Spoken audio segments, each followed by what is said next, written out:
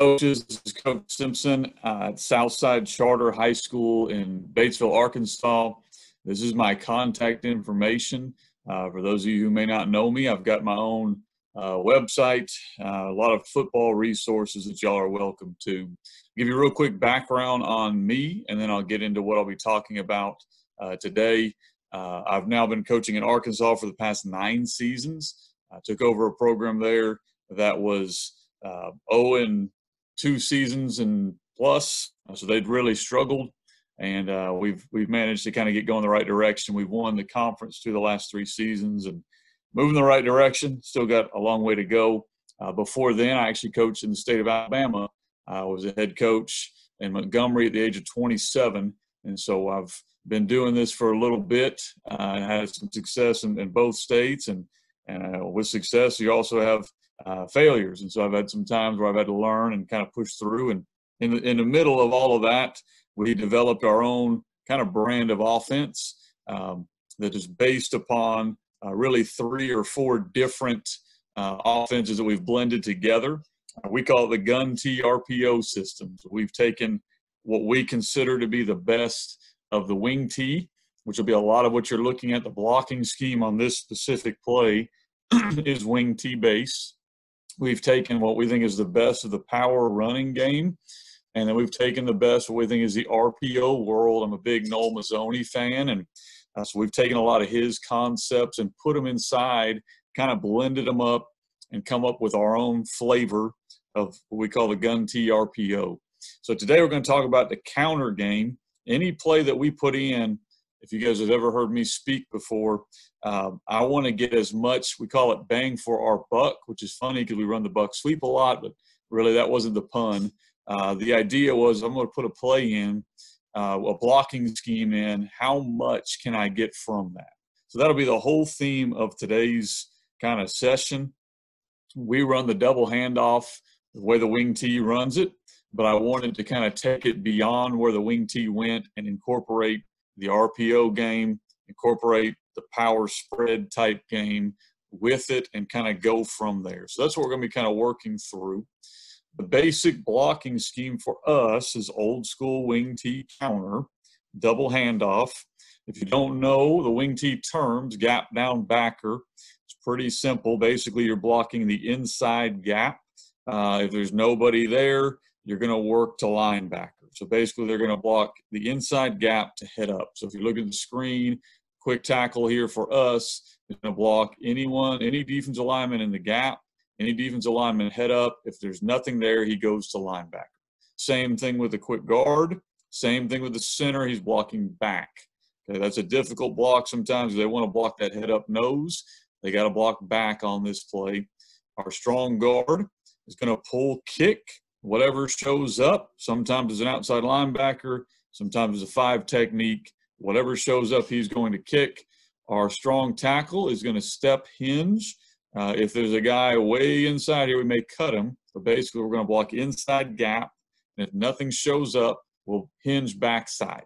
And then our tight end is going to pull and wrap through the hole. Okay, uh, basically like a lead blocker. That's the blocking scheme. And we wanted to use this with as many different looks as possible. So the, the old school wing T way is the way I'm to go first. And then we'll walk through it with kind of our flavors and our blends and that kind of stuff. So again, here's a blocking scheme for it. Uh, quick tackle, quick guard, and the center are all basically blocking down. Uh, strong guard will pull kick.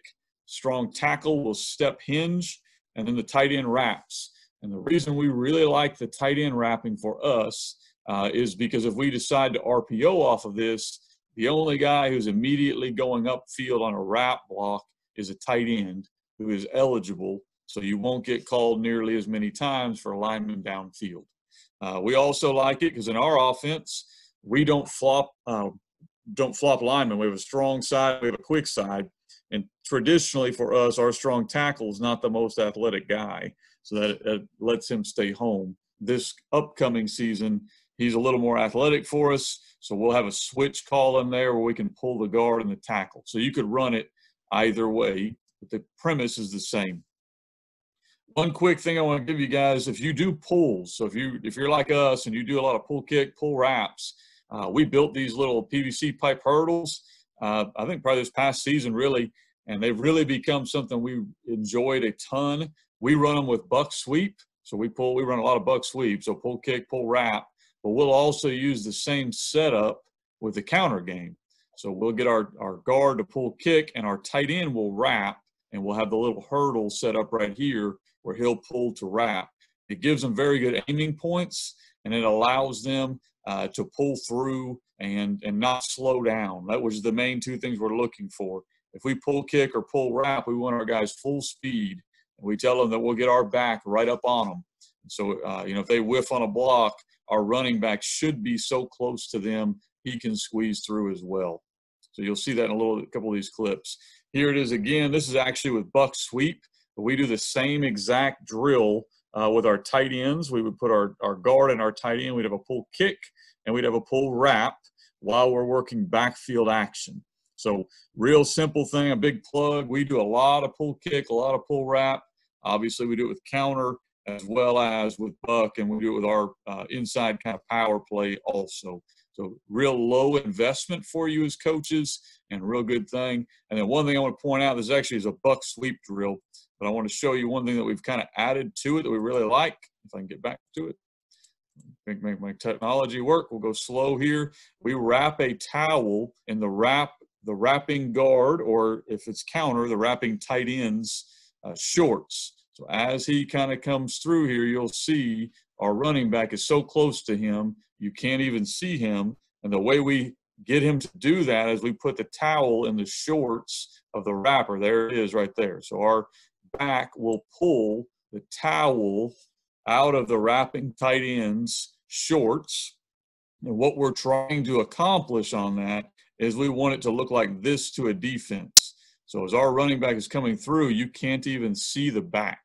He's so tight on the wrapping guard that you can't see him. And that allows our guys a lot of times to squeeze through very, very small creases that we're able to create. Okay.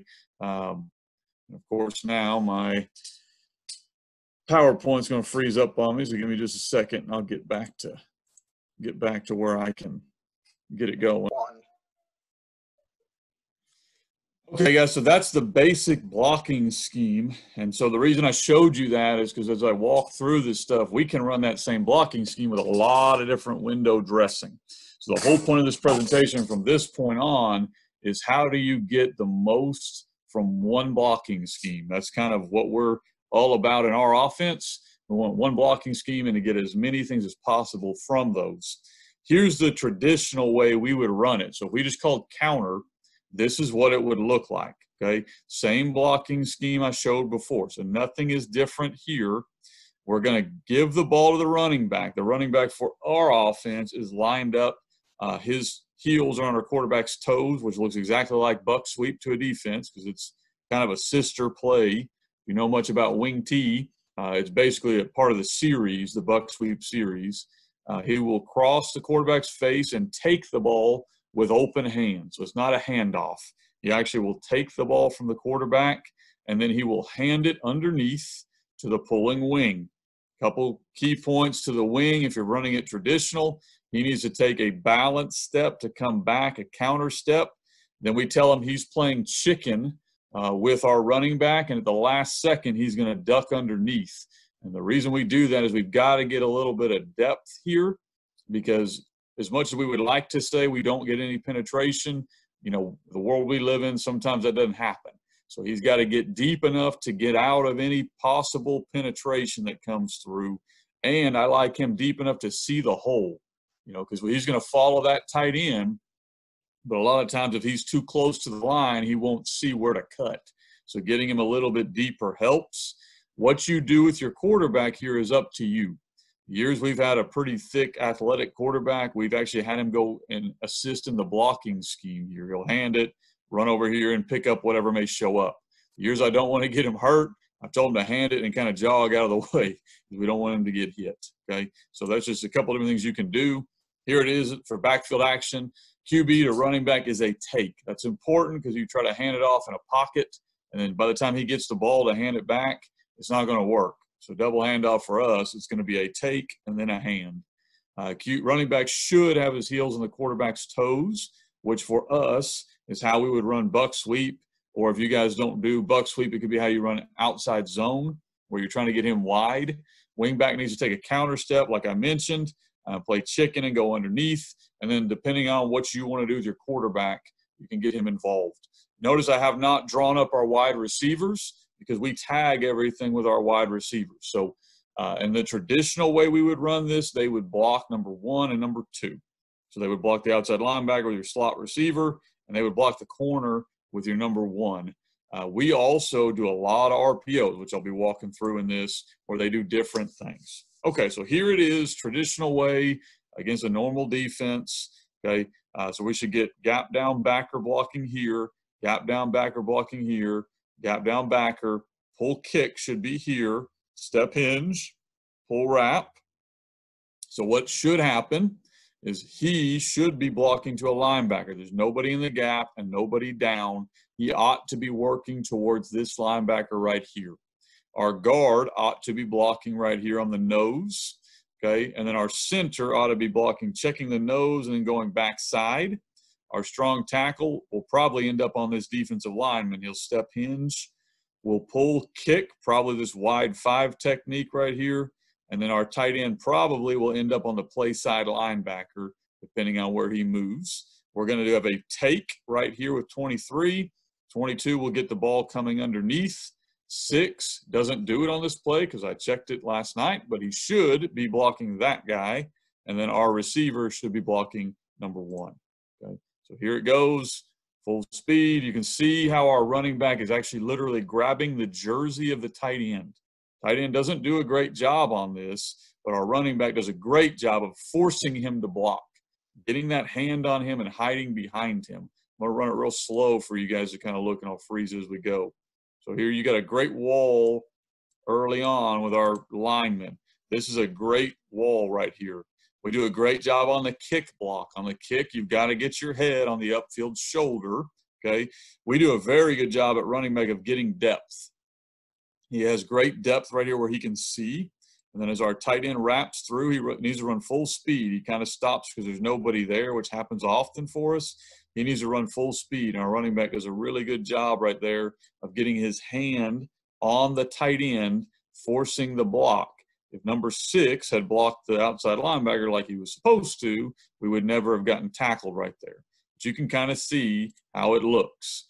Gap down backer, pull kick, double handoff. That's how we run it from normal. So if we call nothing, we just call counter. That's what it looks like. Okay. All right. Here's it. Here it is again. So same play. Gap down backer, gap down backer, gap down backer is your pull kick, your pull wraps coming there.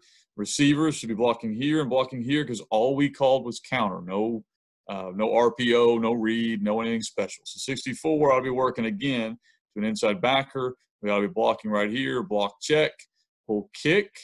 He ought to be blocking inside right here, pull wrap. Okay, so I'll let it play and then we'll kind of go through it slow again. That's just counter for us, nothing special. You see how even though the window is tight right there, because we're so close to our tight end, we squeeze through and make a play. Notice this is third and seven. Okay, third and seven, great time to run this. A lot of teams we get those wide five techniques and just open it up for you. And I'll kind of walk, pause it here. So you see we do a pretty good job of getting the kick block. It's important right here. I wish he had run through him all the way, but he gets his uh, head on the right shoulder. Then 11 comes up through. 11 doesn't really even see the block. But what I want to point out with working that hurdle drill with 11 and 22, the running back, notice how close he is right here. You know, he's so close to the tight end, he can push him into the block. 64 did a great job there of kind of sorting through and sifting through uh, to get to his block as well. Um, he works to the backside linebacker. You get that nice wall, pull kick, and then here we go. Okay, so of course we get the first down by design of the play. He gets the extra five or six because he's pretty good ball player for us. But that's the normal way we run double handoff. Okay, so that's something you would see. You play a wing T team. So now we're going to get into some adjustments, and then we're going to look at the RPOs off of that today. So the first adjustment we're going to get, teams will do this, where they just load you up. Okay. We love against man to man team, which this team is. Pretty obvious. He's got him. He's got him. Uh, one of these guys over here has the tight end. This guy has the running back. I think this guy's going to end up on the wing back. So if we get a team that's just going to load up on the line of scrimmage like this, or a team that's playing man to man, this team's doing both, we'll run what we call a stay call. Stay tells the tight end to stay home. So the reason we're doing that is there's a blitzer up in here.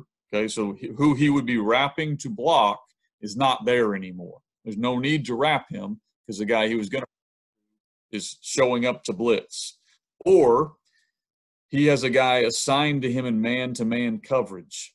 So, because of that, if we just keep him home by not running over there, he actually is blocking a guy. So, let's say that this player right here is man to man on the tight end. If he's playing back here, which happens often, if we keep him home, this guy will stay home also. If you wrap him, a guy will run with him. So we call stay on this. It's the same blocking scheme for everybody, except we're only going to get a pull kick.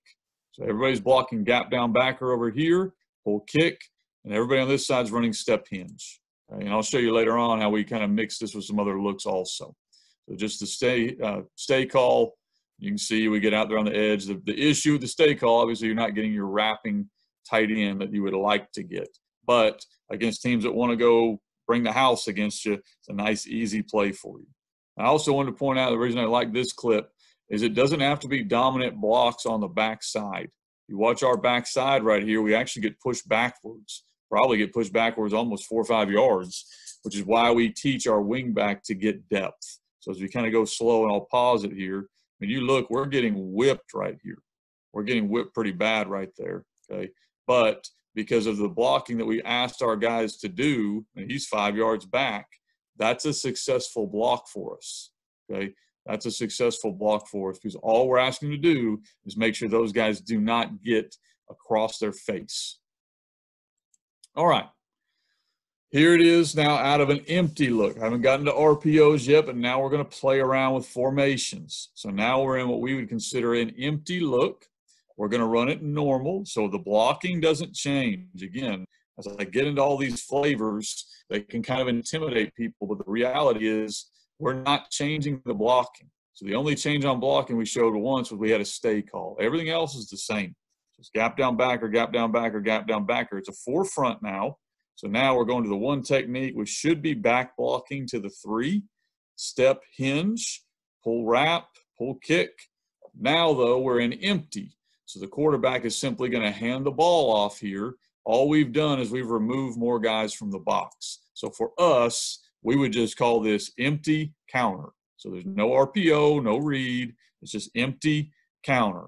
And we hand the ball off. And you see all we've done is we've tried to lower the box count. Okay, so instead of running a double handoff, which is great for the deception, we like this look against this team because look what we have. We don't really consider this guy a problem. We, this guy should be getting blocked, but now we have, in my mind, we have almost a five-man box count with kind of a hinge player here. I'll go into the RPOs of how we fix that later. But you can kind of see what happens.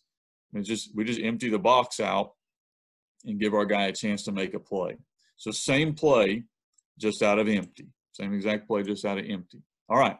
So now from there, all of that stuff is no RPO. It's very easy. Okay. You have stay call, you have run out of empty, you could run out of other sets. We wanted to get into all right, now how are we going to bl- blend the RPO world with this stuff. So stuff that we like to do that we want to blend. So we have a couple versions I'm going to walk through the last part of this presentation. So we will read with our quarterback, like we read with him on a lot of other plays, the backside nine technique if we go empty. We'll run a shuffle version. Instead of double handoff, we'll flip it underneath. Um, if you're concerned about the ball handling, you can do that. Or a lot of times teams will play man to man. I'll walk through why we do that. And then we've got the whole triple option look uh, that we'll run with it. The great thing about all of these, as I go through them, is it doesn't change the blocking. So your linemen literally learn nothing. Your receivers just listen for any tag you might give them. The only guy who really has to know it is the quarterback. Okay? So the first one I'm going to walk through is a QB read.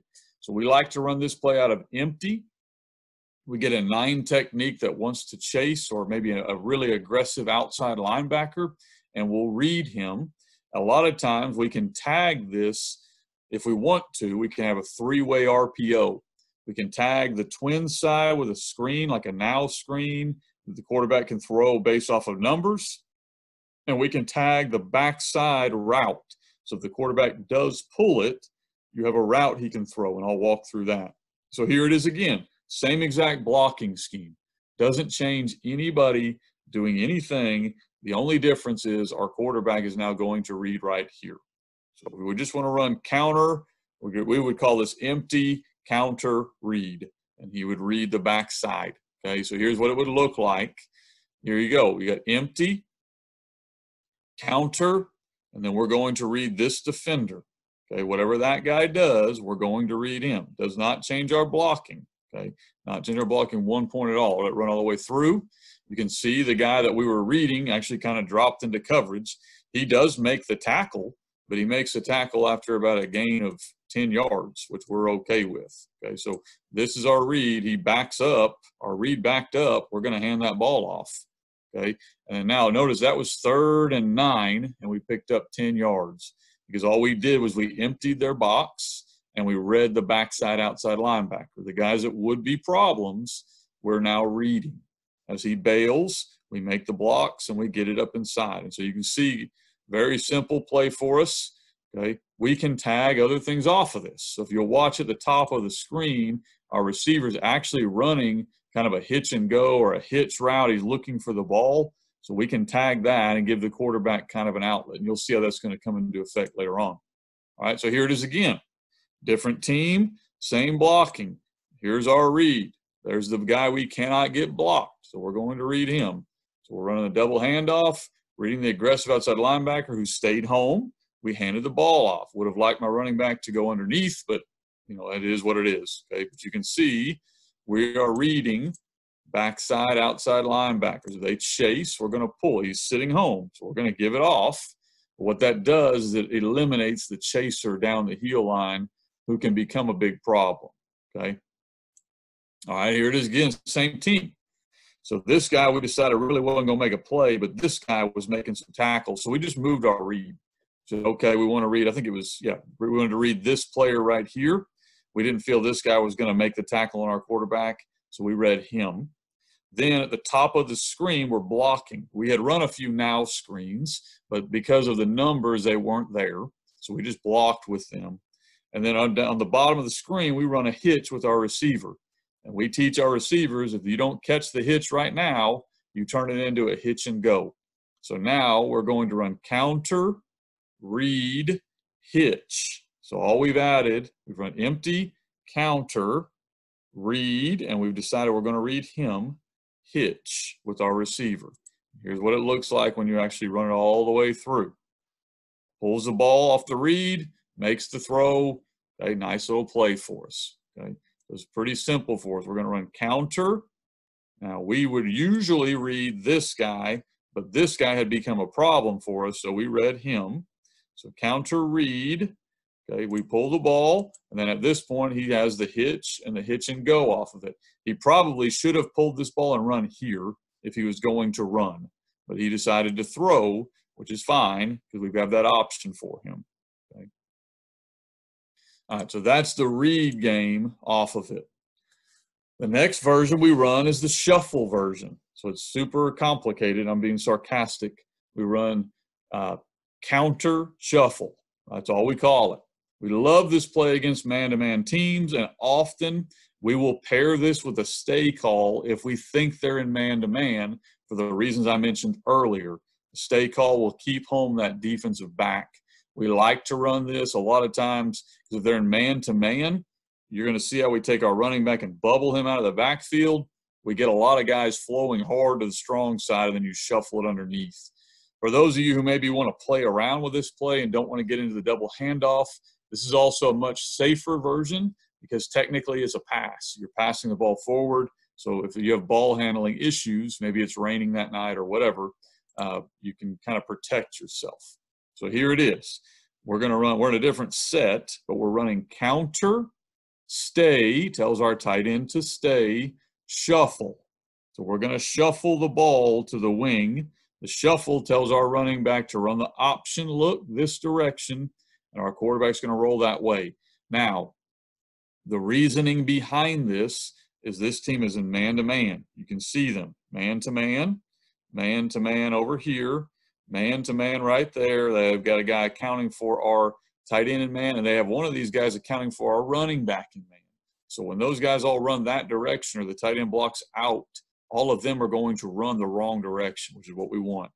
One other quick subtle thing that you can do, even if you don't want to run counter game, anytime we get man, we want to crack the safety with our receiver. Because we feel like that guy's going to go with us anyway. So I don't like to just run him off. I want to try to get a two for one block.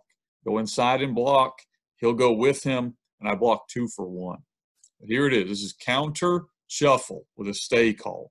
Counter, shuffle, and you see what happens. The only guy that could tackle him was the guy that was in man to man on him. So a guy over here is in man to man on him. He runs with him.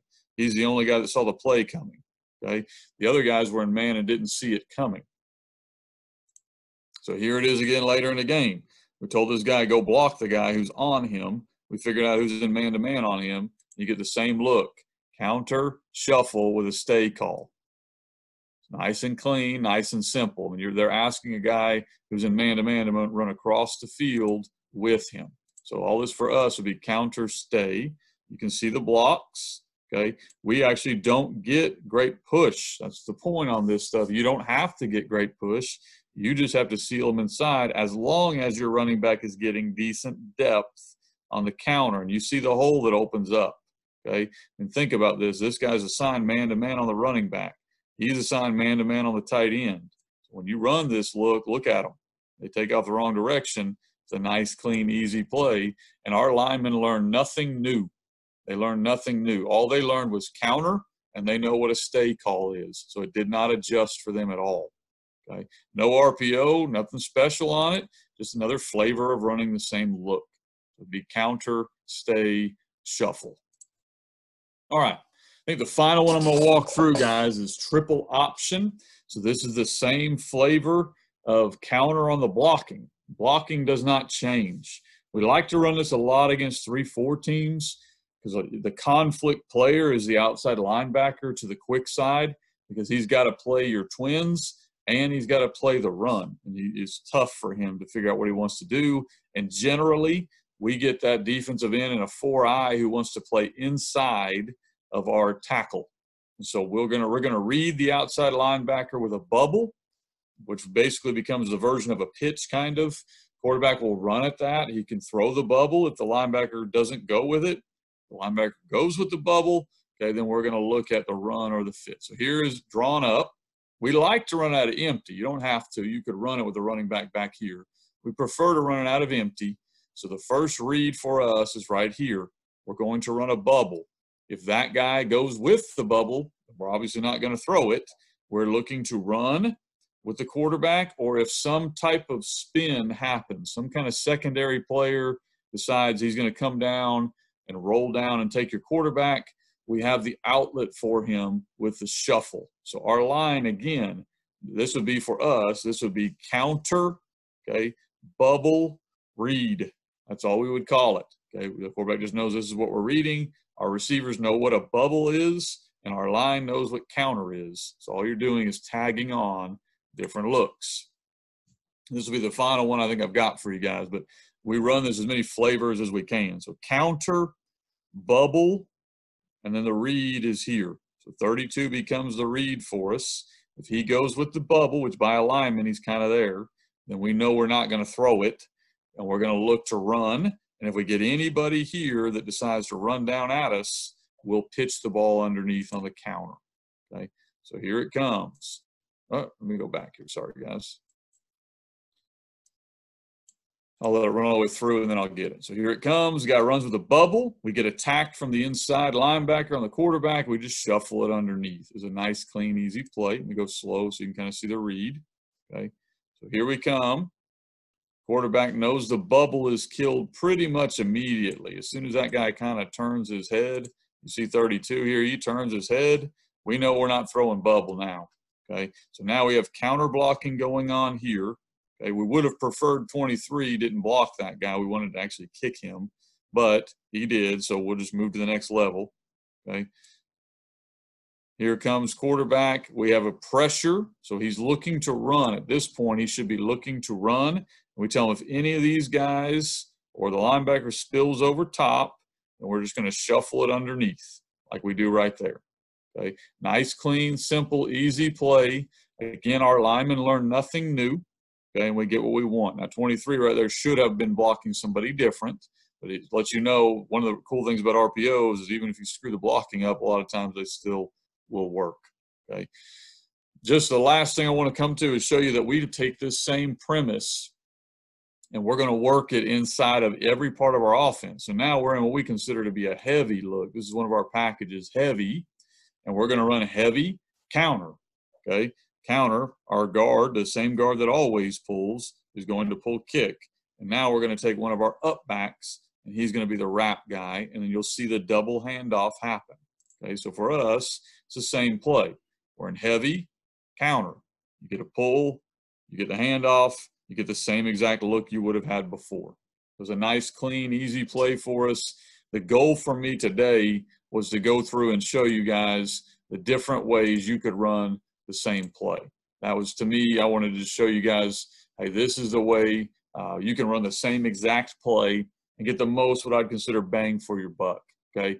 Uh, if you've got questions, which I'm sure I had to kind of move relatively quickly because I wanted to get through all of it on how to run the play, feel free to reach out to me. This is actually my cell number, uh, my email. I'm on Twitter as well. And then I've actually got a website with more resources there if you want those. But I appreciate you guys giving me the time and the opportunity to speak to you guys. And I know right now is not a fun time to be a coach with all the uncertainty that's that's going on. Uh, but hopefully you're you're making the best of it and getting prepared for when that time comes. When hopefully we can be back on the field. Uh, you know, I, I know down here in Arkansas we're still waiting and hoping to hear good news, and I know you guys probably are uh, up that direction as well.